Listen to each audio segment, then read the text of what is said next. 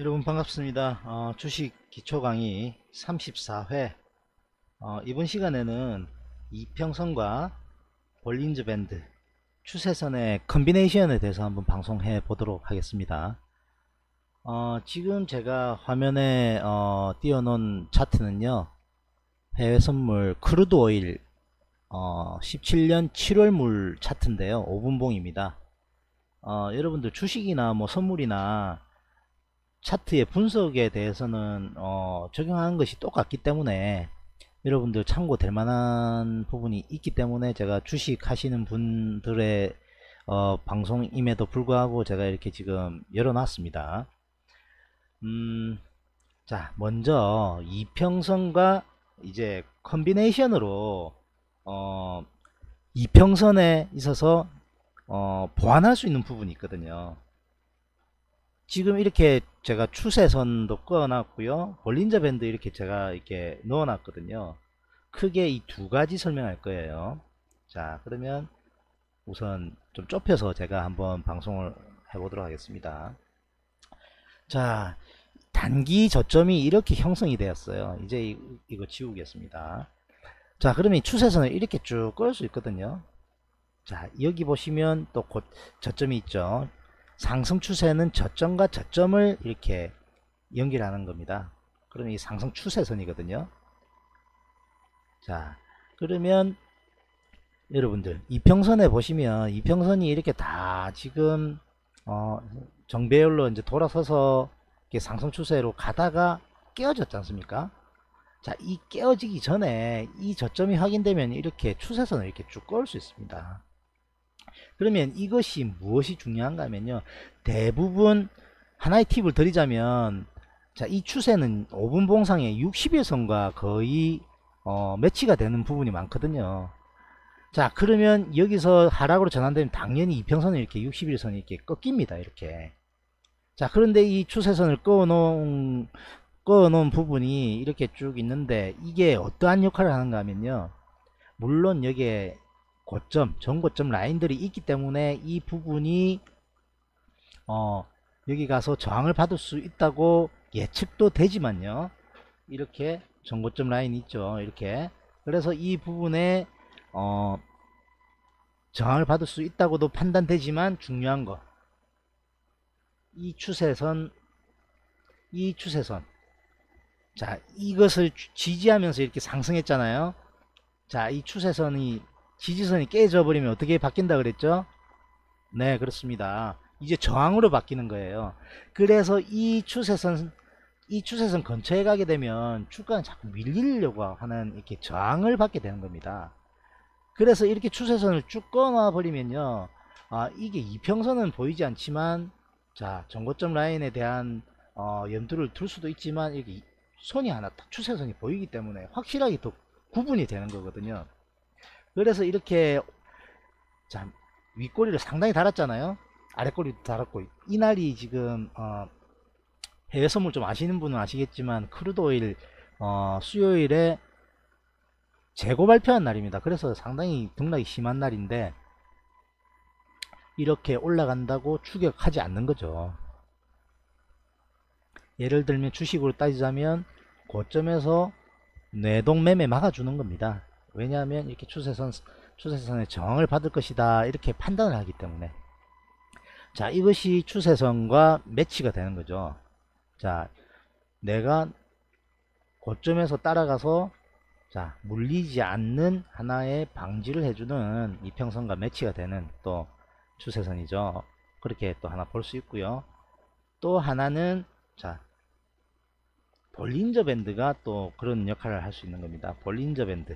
우리가 보조지표나 추세선이나 이러한 부분들은 저는 주로 이제 이평선으로 추세 매매를 좀 하기 때문에 이평선에 관련된 부분을 어, 가지고 매매를 많이 하는데요. 자, 거기에서 좀 맹점들이 간혹 나옵니다. 그것을 어, 막아주는 하나의 보안 보완적인 부분을 어, 보조지표들이 해내거든요. 그래서 추세선은 보조지표로 하기가 좀 그렇지만 어쨌든 보조적인 어, 분석 도구로 추세선을 가지고 아까 그런 분석이 또 나왔고요. 자 이번에는 볼린저 밴드로 어떻게 그러면 어, 보완을 하느냐. 자, 여기 이 부위 보시면 자, 물론 이렇게 볼린저 밴드상 보시면 어, 압축이 되어 있습니다. 압축이 되어 있고 이렇게 상, 상, 어, 이 위에 선과 아래 선이 이렇게 폭이 좁기 때문에 밑으로 확 뚫고 내려가기 힘들다. 이렇게 판단이 들거든요.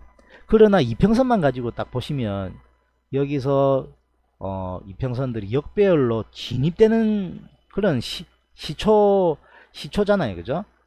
그러면 여기서 쭉 빠져버리면 물론 여기서 이제 들어 올렸기 때문에 이게 전환이 됐지만 그냥 볼린저 밴드가 없다면 자 이평선 위에 다 깔아놓고 20일도 이제 뚫고 내려왔네 여기에서 매도로 진입할 수 있는 그런 포인트를 찾게 되는 거죠. 그러나 그것을 어, 방지해 주는 것이 볼린저 밴드인 거죠.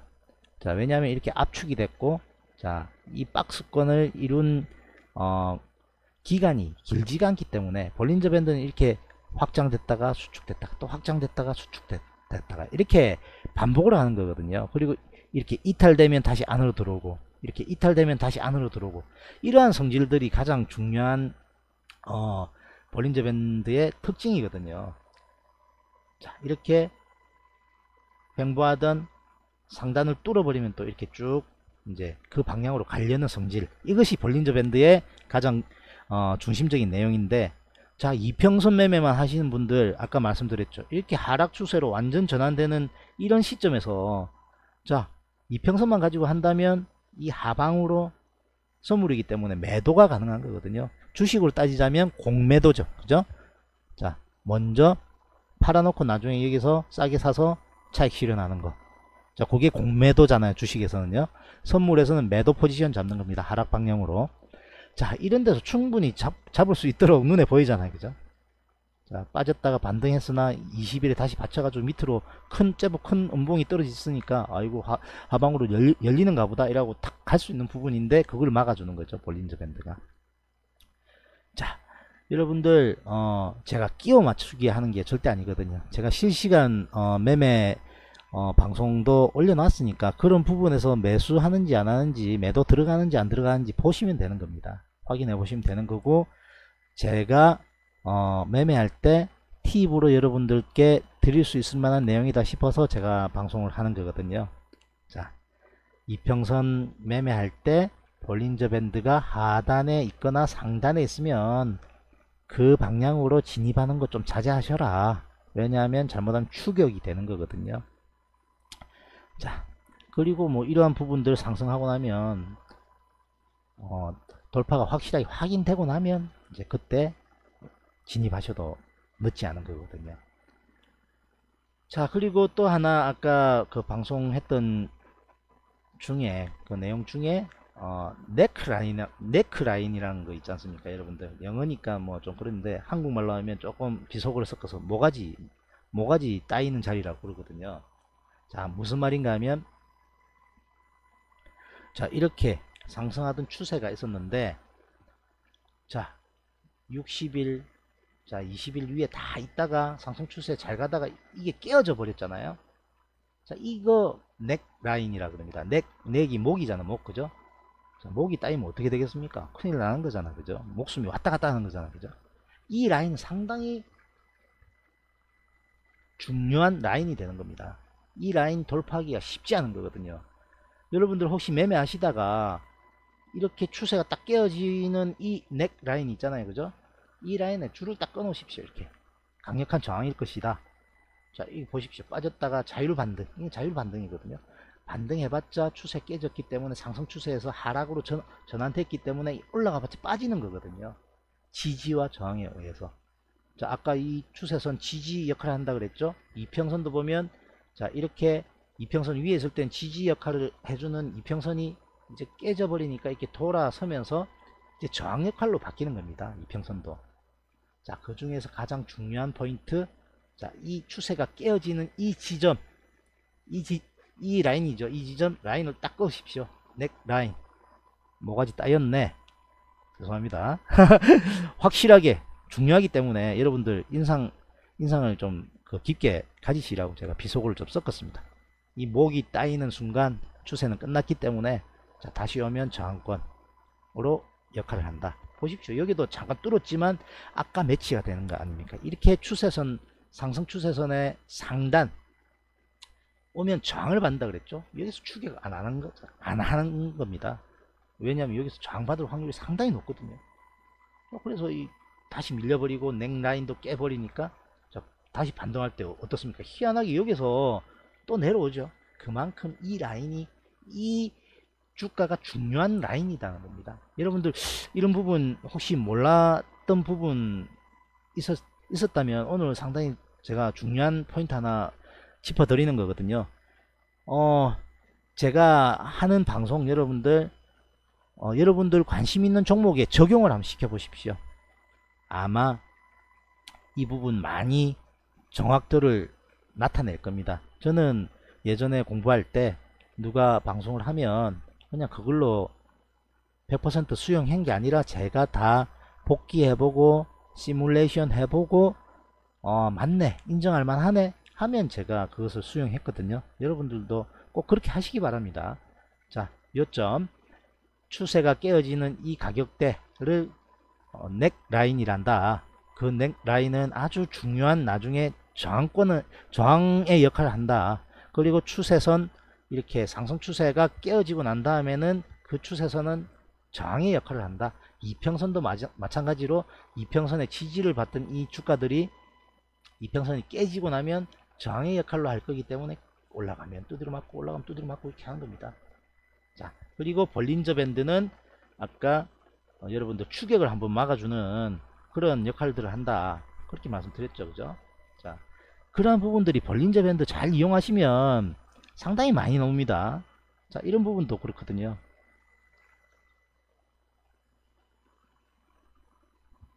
이런 부분도 강하게 뚫고 내려가네 허치면 들어 올리지 않습니까? 왜냐하면 볼린저 밴드의 속성상 이탈하면 안으로 들어오려는 그런 경향이 있기 때문에 자 그러면 어떻게 하면 좋을까? 자 하나를 제시하자면 볼린저 밴드 이렇게 이탈하는 시점에서 추격하시면 안 되는 거예요. 무슨 말인지 이해되시죠? 자, 볼린저 밴드가 이렇게 이탈하는 시점에는 어쨌든 올라왔지 않습니까? 이 안쪽으로. 이게 볼린저 밴드를 만든 사람이 어 중심 이동 평균선에다가 표준 편차 곱하기 2를 한 것을 상한 더한 것을 상한선으로 만들고 뺀 것을 하한선으로 만들었기 때문에 그 확률이 이 안에서 움직일 확률이 90% 이상이 되는 겁니다. 그게 볼린저 밴드거든요. 그렇게 만드는 겁니다.